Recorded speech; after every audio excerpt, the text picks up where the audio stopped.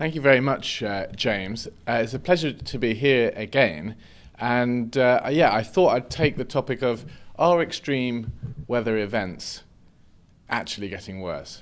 Um, now, we can certainly ask many questions about the IPCC uh, process and very cogent criticisms of that uh, process have been made and criticisms of the IPCC assessment reports. But I think it's worth just taking them at face value uh, for the time being and looking at what they actually say about extreme weather events because we hear almost daily claims in the media about all these extreme weather events getting worse. Um, so we should look at what the science is actually saying about uh, those things. So, my first slide here looks at what Boris Johnson, our Prime Minister, actually said just this morning.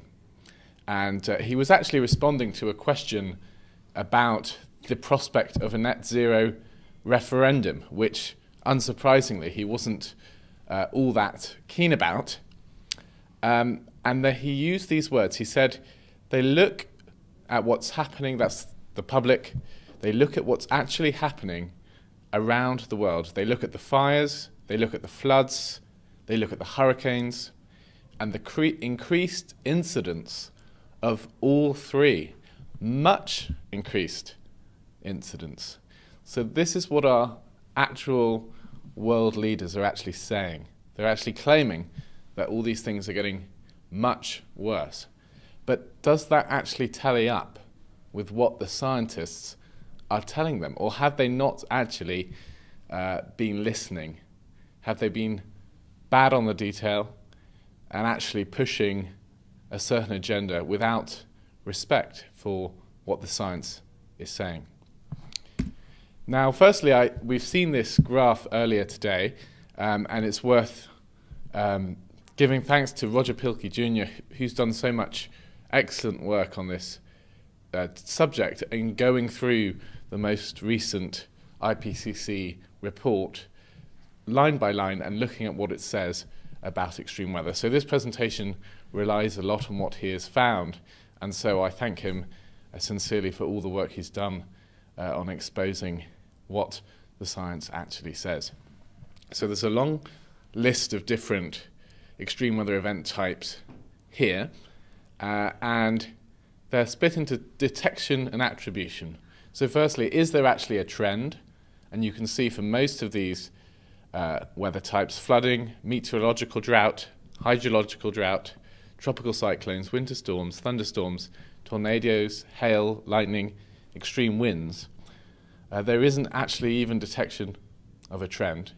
And then going beyond that, even if there is a trend, is that actually attributed to man made changes to the climate. And we see for all those ones which we have no detection, there's also no attribution. But actually, for the heat waves, heavy precipitation, ecological drought, agricultural drought, and fire weather, we're told that yes, there is detection and there is attribution as well. So we'll be going through most of those major types of extreme weather and seeing what is actually being said.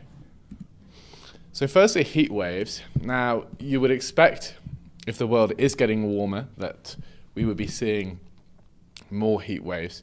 And they've said that actually it's virtually certain there's been increases in the intensity and duration of heat waves and in the number of heat wave days at the global scale. But actually, we should also bear in mind that this goes hand in hand with a decrease in the number of cold days and nights. So, actually, when you look at the mortality from extreme heat and extreme cold, we find that globally there's 20 times as many deaths from the cold. And even in uh, relatively warmer countries, far more people are dying from the cold. So we should be aware of a potential increase in mortality from heat waves, but we also can do a lot to manage that, and we should give thanks for hopefully fewer people dying from cold weather. So there's some good news here um, as well as something to potentially be concerned about. And then moving on to heavy precipitation. Now, one of the more confident claims about climate change is actually that there's going to be more moisture in the atmosphere. And that goes down to basic physics. As we increase the temperature, the water holds uh, more moisture. And so, therefore, this is translated into an increase in the frequency and intensity of heavy precipitation. It will likely increase at a global scale over a majority of land regions with good observational uh, coverage. So, that's something to bear in mind, but it's only going to be a problem, you would think, if it translates across to actually flooding.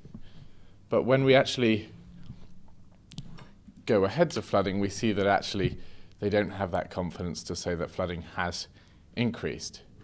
Now, this is a graph which shows the observed precipitation over land between 1901 and 2010 and between 1951 and 2010. And this was in the IPCC uh, report. And what you can see is actually there's many areas which are getting drier and also uh, wetter. So there's actually an inconsistency between of saying that all floods, droughts um, are both getting worse because clearly in those drier areas we may see more droughts, but in those wetter areas it would certainly be very surprising if we saw uh, more droughts in areas which are seemingly getting much wetter. So we can't just claim that everything is getting worse, but that's what you hear in the media day after day. Every single type of extreme weather is apparently getting worse.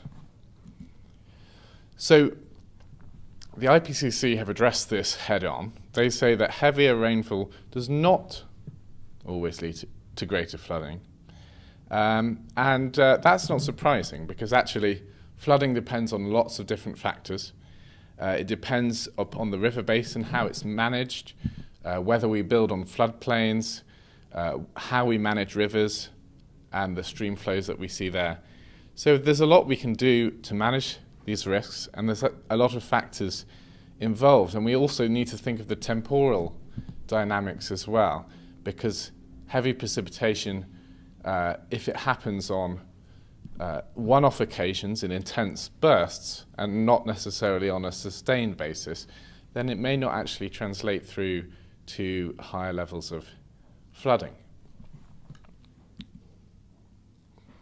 And, and that's what we see. We see that confidence about peak flow trends uh, over past decades at the global scale is low, but there are regions experiencing increases, including parts of Asia, southern South America, northeast USA, northwestern Europe, and the Amazon, and other regions uh, in, experiencing decreases. And that translates to the map that we saw earlier as well. So I think an important point here is to actually consider that different areas are have different needs. Different areas are experiencing different changes in the climate that they're experiencing. So each area needs to adapt to its own circumstances. A one size fits all approach in which we try and change the climate at a global level using trillions and trillions of pounds and hoping that this might alter the temperature of the planet and thereby change the number of extreme weather events is a much more fanciful strategy than actually looking at the local areas and managing local extreme weather events locally. Because we've always had extreme weather events, regardless of the trends, they've always been happening and they will always continue happening. So we have to be prepared for extreme weather events, and we're better off investing in adaptation measures that will make us better prepared. And we know there's a lot that we can do uh, to be better prepared. So then we move on to drought. Now, in the most recent report, they actually distinguished four types of drought. You've got hydrological drought and meteorological drought, and then you've got ecological and agricultural drought. And while they said the agricultural drought they did see, but just medium confidence, that human influence had contributed to changes. Now, what's that agricultural drought? That is the moisture in the soil uh, within one meter. So, yes, that's potentially affected by the climate, but it's also strongly connected with the human management of the land, agricultural practices, um, and how moisture is stored in the land. But with actually hydrological drought and meteorological drought, uh, which is more dependent on actual levels of rainfall, uh, we see that there's still limited evidence and low confidence in assessing these trends at the scale of single regions, with few exceptions, and then that uh, the regional evidence on attribution for single AR6 regions generally shows low confidence for human contribution to observed trends in meteorological droughts at a regional scale. So, when you hear a claim about droughts getting worse, just cite the science, look at what the IPCC says, and it's much less frightening. It doesn't bear much relation to the hysterical coverage that you hear in the media and from our uh, politicians. And uh, that. Uh, sorry about that. I don't know where that's come from.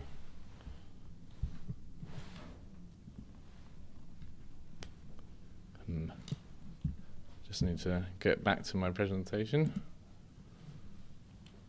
Let's flick onto this one. Thank you. Um, and this is the data from the NOAA, NOAA, which I'm sure you'll be very familiar with. Uh, and you can see the various types of uh, drought moderate, severe, and extreme drought. And we see very little change uh, in the areas affected. This is looking at satellite data, so it's strong, robust evidence. Um, and we also see uh, natural forces of natural variation uh, that are affecting uh, these trends, like the North Atlantic multi-decadal oscillation, the Pacific decadal oscillation, the El Nino and La Nina effects as well. So all of these things are bearing onto the trends. And so we shouldn't automatically assume that it's going to be a anthropogenic climate change related impact. It could be to do with other natural factors as well. And then tropical cyclones. So when Boris Johnson said that hurricanes were getting worse, within the IPCC literature, this is categorized under tropical cyclones. And here we find he's wrong. There's low confidence, actually, in most reported long term trends in tropical cyclone frequency. And uh, so is what he's saying just isn't stacking up and uh, on fires as well. There's only medium confidence that weather conditions promote wildfires. But what we see is there's a distinction between fire weather and the actual number of fires we're seeing. So, in those areas where we're seeing hotter and drier conditions, and that's not the whole world by any means, that's only certain regions, uh, we see that those areas are, are experiencing increases in the amount of fire weather.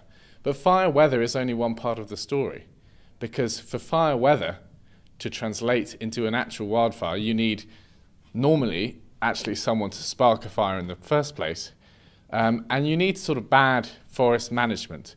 If the uh, forest floor isn't being cleared of scrub, then we'll see a build-up of material uh, that can then fuel uh, more devastating wildfires.